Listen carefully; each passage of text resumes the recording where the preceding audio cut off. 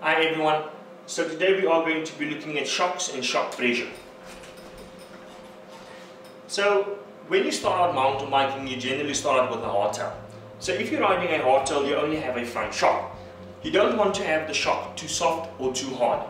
So we do measure 25 to 30% of sag with the total amount of travel.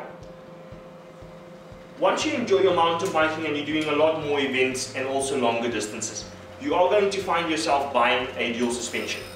If you're riding a dual suspension, the rear shock is very, very important because it does hold the geometry in place and also it absorbs the impact. So when riding a dual suspension, you don't want to have the shock too soft. If the shock is going to be too soft, you are going to find that your pedals is going to knock against some of the rocks. Also on the bigger rocks, your crank is going to rub against that.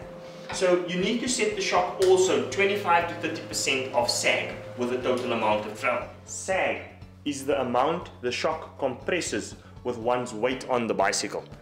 It's normally measured by percentage of the total amount of travel and then the weight of the rider on the bicycle.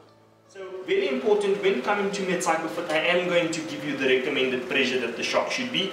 I will put the shock pressure into a chart and that chart I will send to you.